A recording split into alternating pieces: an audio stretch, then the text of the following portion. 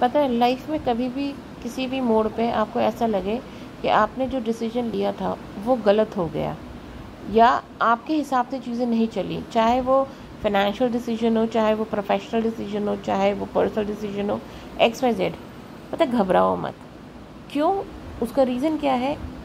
आपके इतने गट्स होने चाहिए कि उस डिसीज़न का अगर नेगेटिव आउटकम आया है, तब भी उस डिसीज़न को आप फुल्ली एक्सेप्ट करें, उसका ओनस आप रखें और ये चीज़ देखें कि आगे ऐसी गलती जो हमसे हुई, वो दोबारा रिपीट ना हो।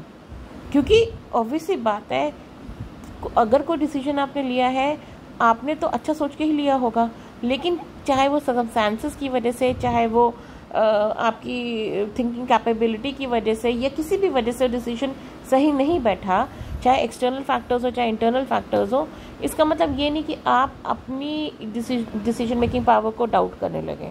इस जस्ट कि उस टाइम पे वो चीज़ सही नहीं थी, वो सकमस्टांसेस फेवरेबल नहीं थे, जिसकी वजह से वो डिसीज़न वर्क नहीं किया। बट मेन चीज़ क्या है? मेन चीज़ है कि उस डिसीज़न की आप ओनस लें।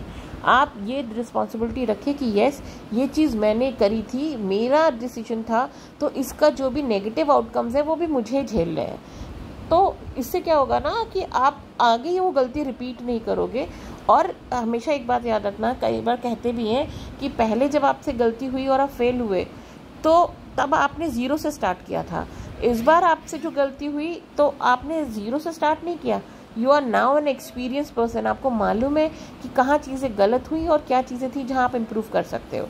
तो मेन चीज़ है कि कभी भी कोई भी डिसीज़न गलत भी हो जाए, कोई बात नहीं don't quit just take that responsibility and face the challenges. That's the main thing. That's your power okay